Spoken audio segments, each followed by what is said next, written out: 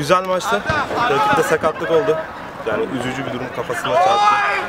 Tokuştular ama inşallah iyidir. Yani güzel maç oluyordu. Yani iki takımın da ayağına sağlık. Takımını tebrik ederim. Kazanmayı bildi. Sakatsızlık bir oyun olsun isterdik ama yapacak bir şey yok. Herkesin ayağına sağlık. Teşekkürler.